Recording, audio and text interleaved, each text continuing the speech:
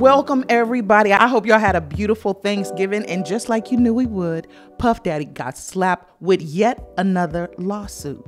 Right on Thanksgiving Day, people. Diddy got 99 problems and then some. It's like everybody's accusing Diddy of being an evil doer. And his latest victim to come forward, alleged victim to come forward, is Joi Dickerson Neal. And she also names names, just like Cassie did uh, Jodeci, DeVante Swing. Yeah, we know his name. And according to Miss Neal, once again, Puffy recorded his crimes and he allowed DeVante Swing and other people in the entertainment industry to look at this video. So DeVante Swing can corroborate Miss Neal's story because he was the one that confirmed to her that the video existed. This is not this is not good, Diddy. Mm-mm. And you got folks like Naomi Campbell and Janet Jackson snatching Diddy's pictures off their timelines, off their social media profiles. Keisha scrubbing them off the recordings. You know, you know, people that have these kind of, that harbor these kind of thoughts, you should get help. You know that you're thinking in a way that's not in line with society. You know you cannot just be forcing your will on people that is not cool get help. It's not worth the grief that you bring to your life, to your bank account, to your family, to other people's families. You know you ain't right. Sit down with somebody. Even Diddy was talking about that he's in talks with TD Jakes a little late in the game. Do it. Sit down with somebody before you act on these kind of nutty things this is all alleged, but it's just sad. It's really sad. It, it is heartbreaking for families and people to go through this. And I don't celebrate this kind of stuff. It's it's really not cool to hear. It is sad. I just got Jay Z up there because of the 99 problems thing, but you know even after this Adult Survivors Act, even though it's coming to an end in just hours, hours, that's not going to change the fact that Diddy's problems are going to continue with all this slipping stuff into the drinks. I mean, you breaking a lot of laws when you slip substances into somebody's drinks. It's not just the assault. It's everything that goes with it. This is a whole lot of wrongdoing, and we're having the same accusations come up in these recent filings. And this latest accuser is demanding a jury trial. And I think this stuff is going to go to a jury trial. Uh, and we, it probably would be for the best for this to be heard by a jury and even set the public at ease because concerned citizens, tax paying citizens, we need to know what's going on. And the fact that they gave this allowance from November 24th last year to November 24th this year, I think it's unfortunate that it falls on Black Friday. But we don't want uh, this element, we don't want this element just running around freely through society, just wreaking havoc on anyone that they see that they can run over and use as a victim. We don't want this. So, whoever can come forward and shed some light on the wrongdoers in our society, I think I think it's all good. This Adult Survivors Act is supposed to give a look back window for the people that would not have, for the people that wouldn't have their case heard otherwise because the statute of limitations ran out. And the fact that money is involved, I think that's also fair. I mean, money is a deterrent. It's it's supposed to serve as a deterrent that you're going to get your your finances attacked when you do things wrong. We have the same thing in play with traffic violations. That's supposed to be a deterrent to speeding, running red lights, running over people with your car, uh, drinking under the influence, even though people still do it.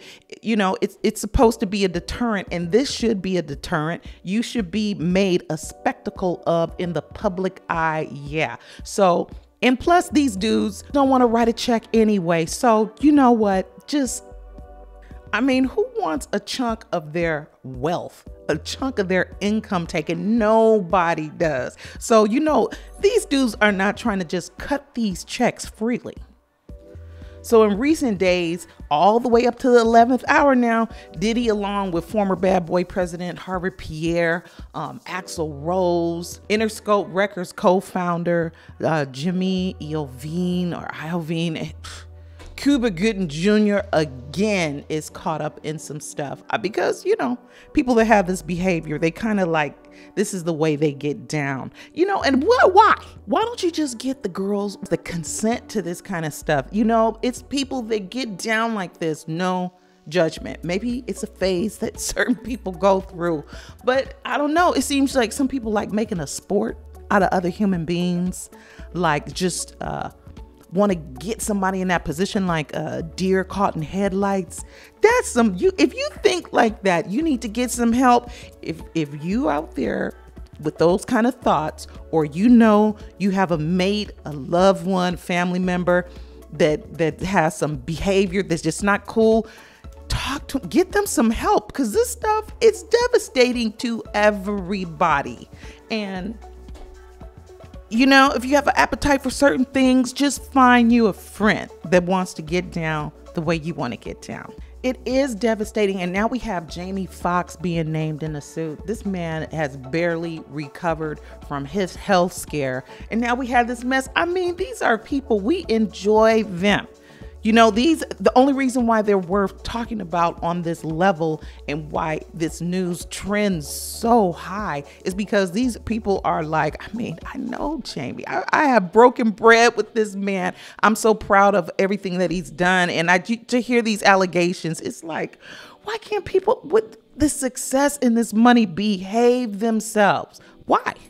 And these are not just frivolous claims. You can't take it like a frivolous claim because the woman that's accusing Jamie, she also filed a report in 2020, allegedly. So when that's true, this is just sad. It's sad. So Jamie is supposed to have been under the influence at a club and a woman that had the likeness of Gabrielle. She it, was like a spot for celebrity upscale situation, and she wanted a picture with Jamie. That's when this was supposed to have taken place with Jamie in 2015. And the woman says that she wanted to take a picture with Jamie. She was with her friend, and he just basically violated every part of her body.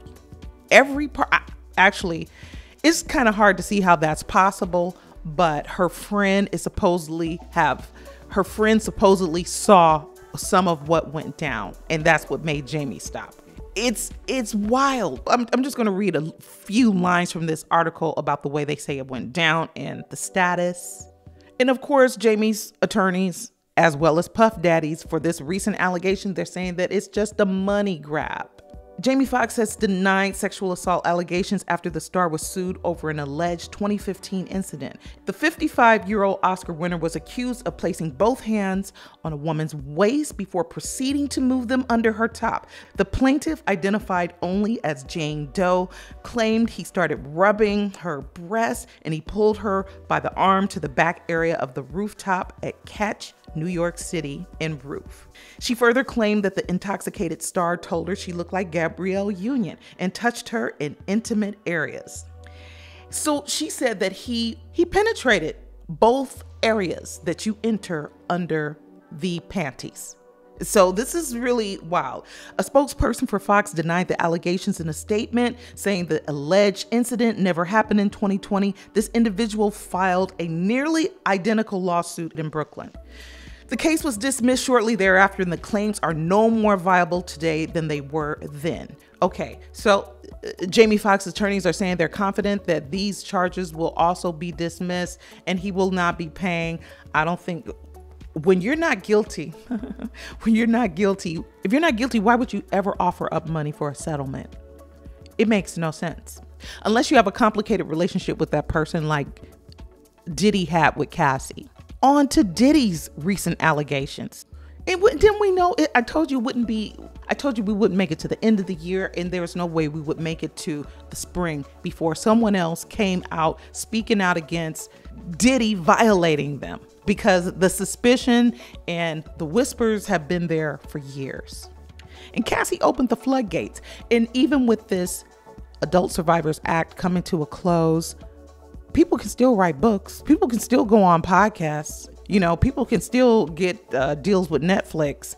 They probably do a whole big documentary. Ooh, this is a this is a mess. So all the all the major outlets are covering these covering these uh, covering this story about Diddy. Of course, this is like I mean he's a mogul. This is a billionaire. The article reads Sean Diddy Combs is in legal trouble once again, facing a second lawsuit that accuses the music mogul of drugging and raping a then college student in 1991. Now, this Adult Survivors Act, it doesn't matter when it happened, they allowed this one year window. So, 1991, you can't say nothing about that. The woman, Joi Dickerson Neal, filed her complaint Thursday in Manhattan Supreme Court, a day before the New York State Adult Survivors Act expired and alleges she was drugged, sexually assaulted, sexually assaulted and abused and was the victim of revenge porn according to court documents obtained by USA Today. Combs videotaped the January 1991 assault and distributed the tape to others in the music industry according to the suit. This caused severe harm to Ms. Dickerson Neal's reputation, career prospects, and emotional well being. Dickerson Neal's attorney Jonathan Goldhirsch said in a news release sent to USA Today Thursday.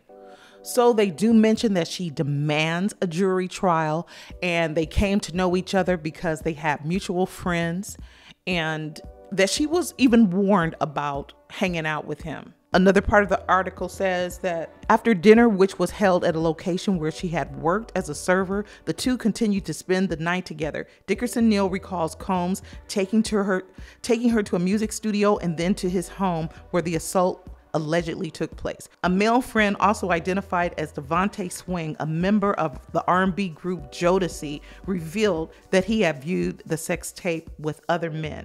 Dickerson Neal asked Swing who had seen the video, and he replied, everyone. Everyone. So she claims that she had emotional, um, you know, she suffered depression, which could you imagine? Could you imagine someone violating you like that? It's alleged, but when what she says is true. I know a lot of people don't have a problem believing that Diddy is capable of this and that he probably did do this. It's terrible. It's terrible for his family. I mean, this man has children. They probably sat down for Thanksgiving, like, you know what, let's maybe let's try to make the peace. Maybe they skipped Thanksgiving, but I think they may have sat down and said, let's just enjoy Thanksgiving. And then here you got to drop the fork. Not drop the mic, but drop the fork because here comes some more mess ooh, it, it's gonna be it's gonna be some kind of year because this is gonna start all kind of discussions. It's gonna people are gonna come forward. They're gonna share their stories. It's I don't know why people just can't find a normal way to get down. This is just it's it's uncalled for there should be no question when you get ready to get down if you're willing to do it or not. There gonna have to be some checks and balances out here because this is just too wild. This has just happened like it's just in a tempo. It's too much. Anyway, I will keep up with this story and other stories. I wish y'all a beautiful holiday season. Until I see y'all the next time, y'all keep living your life like it's golden. Peace.